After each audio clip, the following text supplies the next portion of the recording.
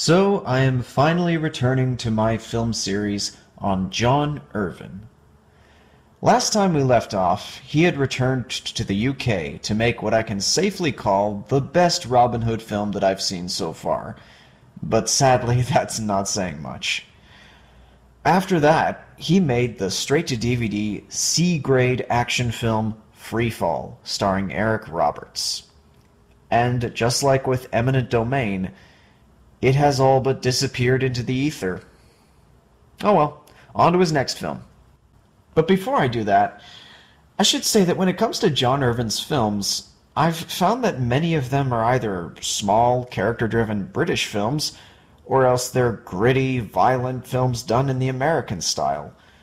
Free Fall was the latter, and given how it turned out, it's really no surprise that John Irvin switched back to the former with his next film. Widow's Peak.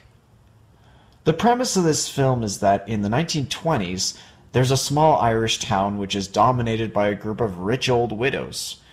As you can imagine, they're a bunch of snobs who have a lot of ideas on what proper behavior is. The most prominent widow in town is Mrs. Doyle Counihan, played by Joan Plowright. For all her looking and sounding like a dainty, silly Irish woman, Mrs. D.C. is a tyrant of the village. She runs roughshod over everyone, including her son. One day, a very young widow, played by Natasha Richardson, moves into town, and the town collectively raises an eyebrow. But while she wins most of them over, she ends up in a hateful feud with Miss O'Hare, a social recluse played by Mia Farrow. Why the feud escalates so quickly and really why the feud even exists in the first place, it's anyone's guess. The more we learn, the less it makes sense.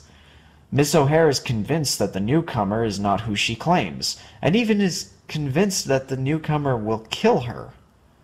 Both women also have love interests in the form of a bumbling buffoon and Mrs. D.C.'s overshadowed son. The tone of this movie is a bit strange. In the first half of the film, it feels like an Oscar Wilde sort of comedy, laughing at an uptight society through the gaze of an outsider.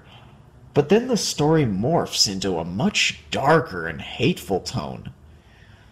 The rigid society stops being funny and becomes ugly, turning people against each other with a mob mentality. The illusion of silliness is stripped away, and we see these people for what they are. But that said, it's not exactly on the level of the usual suspects. I mean, revelations are made which are somewhat foreshadowed, but they still leave questions. Like, how much of these people's past actions are no longer genuine? When does the deviousness begin? How long was it planned? And how exactly does the epilogue work? I'm not going to be very specific with this. Just watch the movie and maybe you'll get what I'm talking about. In any case, plot questions aside, the movie is well filmed in a picturesque location. The actors are clearly having a lot of fun, especially Jim Broadbent as the bumbling dentist. Actually, he and Mia Farrow give us the funniest moment in the whole film.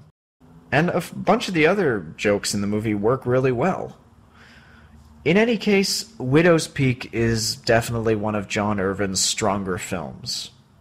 While the tone shift can be a bit inconsistent, I think it does make sense given the story that John Irvin was trying to tell.